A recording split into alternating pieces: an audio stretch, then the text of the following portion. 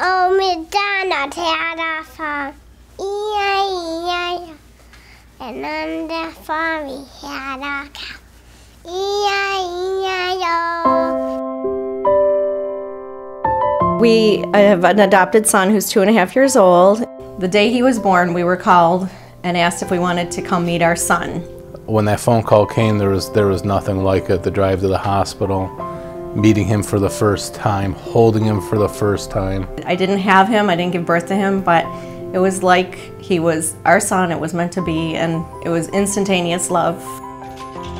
You know, we are a waiting family now and uh, waiting to adopt a second child uh, because we really want him to have a sibling and uh, we still think we have some love to give to, uh, to another child.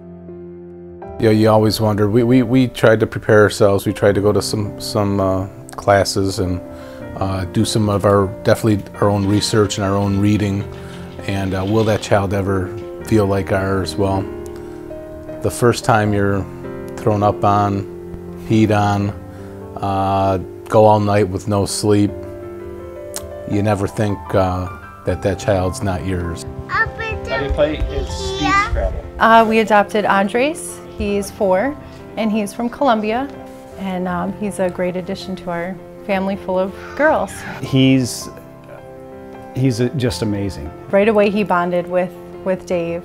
You know, they had an instant bond, and the girls knew right away. They said it feels like he's always been with us, and it is true. Sometimes I just look over and they're all sitting on the couch, you know, just snuggling and lounging around, and it does really feel like he's always been, that he's always been with us, and it was meant to be. He can be a little bit of a fighter, but you know, when you're when you're a four-year-old who's who's living in an orphanage, and you've got cerebral palsy, you know, somebody comes by and, and some kid wants to borrow your toy for a couple of weeks, what can you do? I mean, you can't, you can't get up and run after him.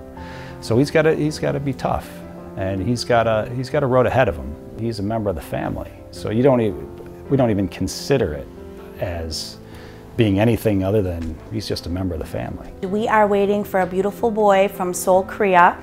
His name is An Rayan, and we are patiently awaiting for our travel date to go pick him up.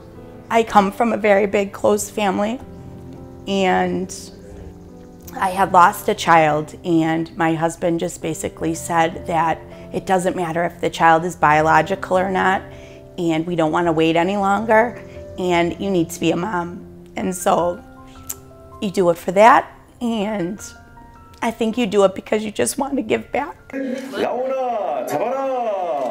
And we received pictures of a big, the big event there. It's as big as a wedding. His first birthday celebration at social welfare with her foster parents. We can't wait to actually get to Korea and see where he's been living for the last year and a half.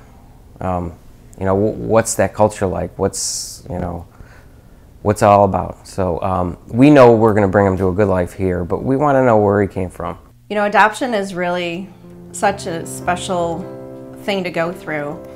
You don't get the oppor- you know, in many cases, you don't get the opportunity to actually have the baby that you always thought you were going to be able to have.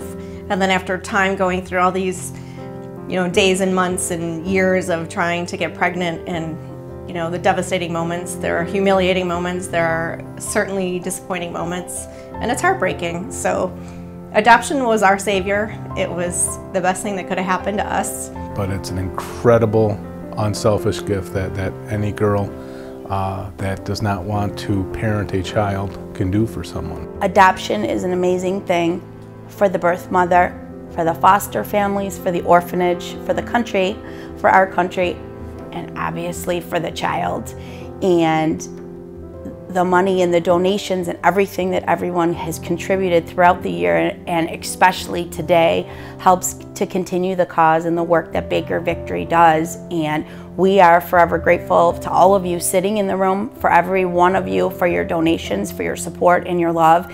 And it's, I feel it's my responsibility to continue to share what changed my life with other people so that they can realize that there is hope and there is an option and life doesn't always go the way that you thought, but it can actually end up even better.